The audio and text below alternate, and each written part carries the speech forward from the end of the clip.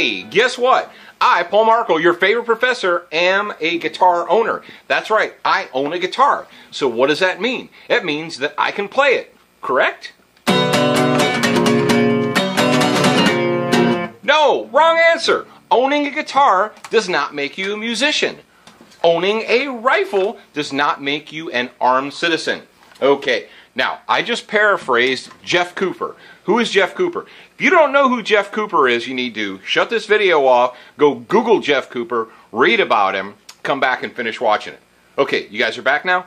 Okay, Jeff Cooper uh, founded Gunsite Training Academy, and he is recognized as the father of modern pistol craft. Okay? And Jeff, uh, Jeff's got a lot of quotes. There's a lot of Jeff Cooper quotes out there.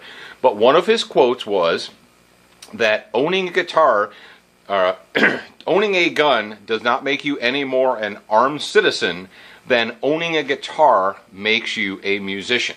Okay, very, very simple logic, very, very reasonable and rational. But a lot of people out there do that very thing.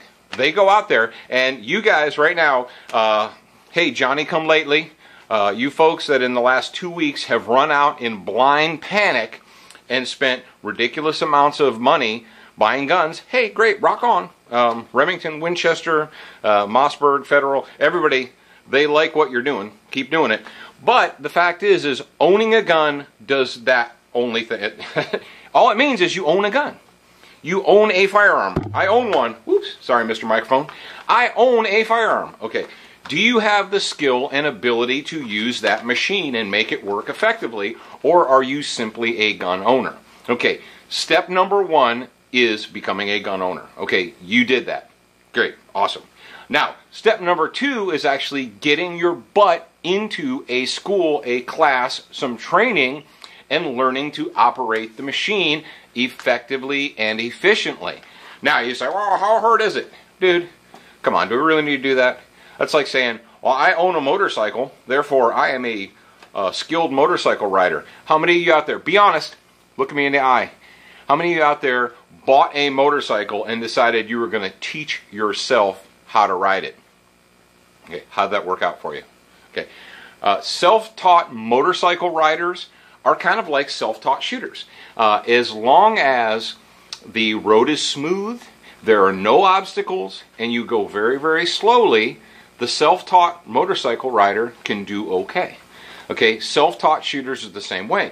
As long as they go very slow, very meticulously, they don't try and do too many things at once, they don't try and move around, okay, they can be all right and safe. However, the problem occurs when they try and speed things up, do multiple actions like draw from a holster, things like that, uh, engage multiple targets, try and shoot a little quicker, okay, the self taught motorcycle rider and the self taught shooter are both accidents waiting to happen. And it's really unnecessary. Right now in the United States of America, there are literally dozens of good schools uh, and academies available. Okay, uh, there it, it is true that there are a lot of gun shop blowhards out there, a lot of guys that are the local gun shop expert, and they'll tell you about this caliber and that caliber, and and you know they're super G whiz blaster. Okay, I, I got that. But the fact of the matter is, is you've got a computer, right? You have to have a computer because if you didn't, you wouldn't be watching this. Do the research. Look up academies and schools and so forth, and there's going to be reviews and so forth of, of many of these online. You can read them yourselves. Okay. Uh, yes, shameless plug. Student of the Gun, Paul G. Markel, and my crew, we do instruction. And we will do instruction uh, this spring in Ohio for our spring training. Uh, it, but there are a lot of other good schools out there. If you don't come and take training from me, that's cool too. Take training from someone else. But get some training because owning a guitar doesn't make you a musician. Owning a gun doesn't make you a good shooter. So get the training.